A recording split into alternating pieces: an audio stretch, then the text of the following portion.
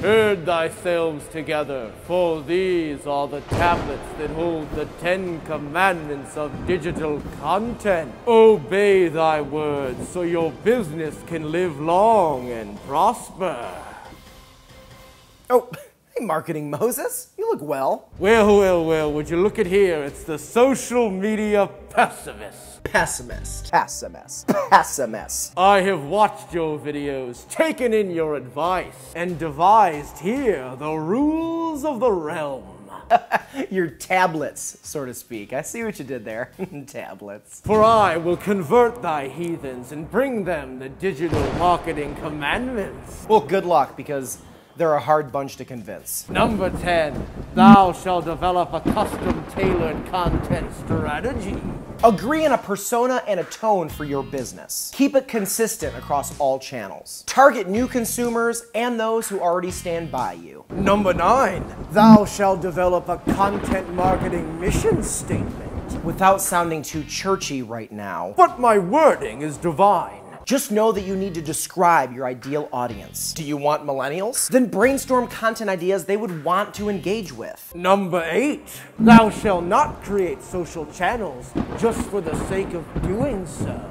A freaking men on this one. Just because Vine exists does not mean that you need to create your brand's account and then load it up with a bunch of piss poor posts. little clips of nothing. Today we're gonna be talking about Vine and how Vine sucks. All in all, I hate Vine. Learn to do it correctly before taking it public. Perception is everything on these side of the gate. Didn't I tell you not to speak overly religious? Number seven, thou shalt blog informatively and for entertainment simultaneously.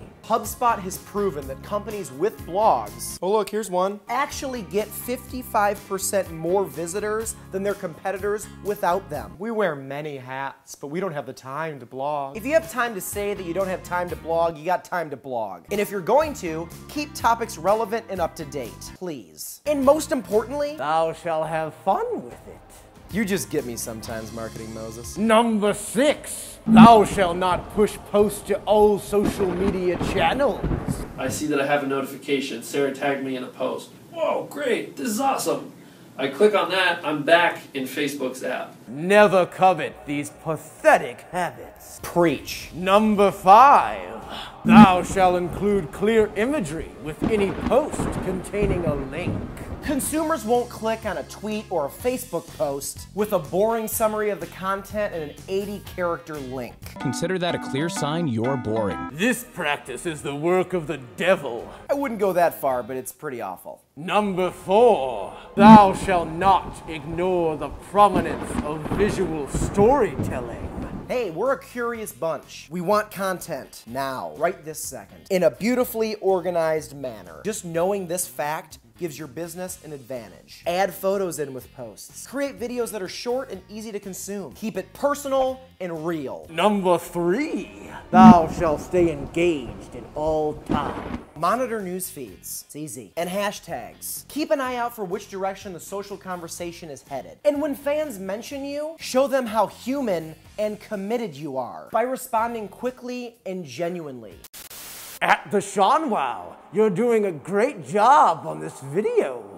Oh, that was super nice of Moses. I'll favorite that. Only a favorite, no retweet? For man does not live by bread alone. Just keep it going, Marketing Moses, can we? Oh, ye of little faith. Number two, thou shalt measure thy success along the way. Don't just throw spaghetti and hope it sticks. Bow tie pasta is my forbidden fruit.